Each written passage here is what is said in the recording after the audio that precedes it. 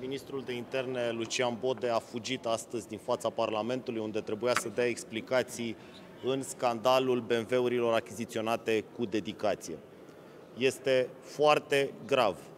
Și chiar dacă Lucian Bode este doar un executant pentru Iohannis în acest scandal, pentru că știm cu toții că acolo este Il Capo, Don Claus, cel care coordonează această mafie care a acaparat statul român, este foarte grav în contextul aderării României la Schengen. Un ministru de interne corupt pune în pericol aderarea României la Schengen și îi cer lui Iohannis să îl demită. Noi de asta îl chemasem la moțiune în fața Parlamentului, să-l demită Parlamentul.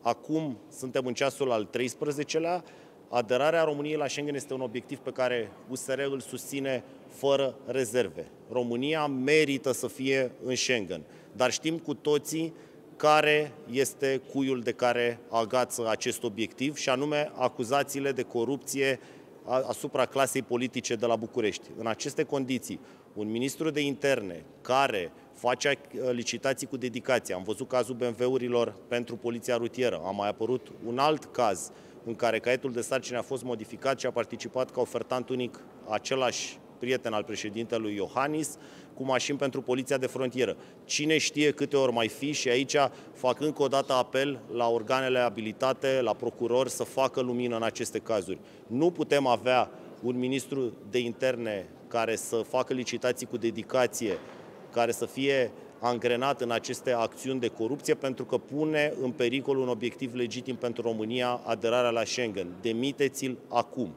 Pe de altă parte, vedem acuzațiile venite din partea dumneavoastră, foarte grave de altfel. Vorbiți despre un ministru de interne corupt. Deocamdată nu este dovedit în instanță acest lucru. Pe ce se bazează aceste acuzații pe care le faceți?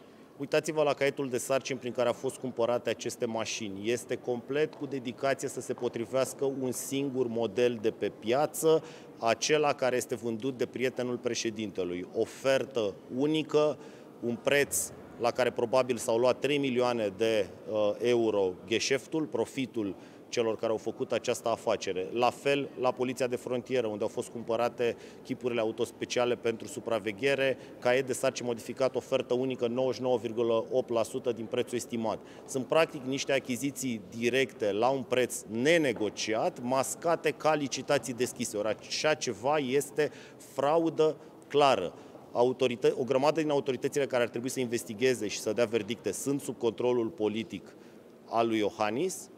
Așteptăm de la, noi am făcut sesizare la OLAF, am înțeles că domnul Bologa, uh, DNA-ul Uh, se poate autosesiza, îi așteptăm să facă lumină în acest caz, dar faptele sunt pe masă și sunt clare, este un scandal care este deja internațional, se uită lumea la noi, ne facem de râs și riscăm din cauza lui Bode să ratăm intrarea în Schengen din cauza acțiunilor lui Iohannis, care folosește funcția prezidențială pentru a împărți privilegii, contracte, beneficii. Este un stat capturat, patronat de Don Claus de la Cotroceni. Argumentele pe care le-a prezentat Ministrul Afacerilor Interne astăzi uh, în uh, biroul permanent al Camerei Deputaților, uh, prin care cere reprogramarea, nu v-au convins? Din câte știu, este pentru prima dată când se întâmplă așa ceva un ministru este supus controlului parlamentar, un guvern este investit, investit cu votul Parlamentului, controlul parlamentar este prevăzut la articolul 111 din Constituție, nu este opțional, nu o faci după programul tău. De altfel, uh, convocarea, nu o să-i spun nici măcar invitație, convocarea, un ministru, am fost și eu ministru, este convocat în fața Parlamentului, vine când îi se cere, este făcută de o săptămână. Să anunți cu o oră înainte că tu ai alt program în ziua respectivă, este o sfidare și, din câte știu eu, este fără precedent. Și cei care au fugit din fața Parlamentului în ultimul moment n-au sfârșit bine politic.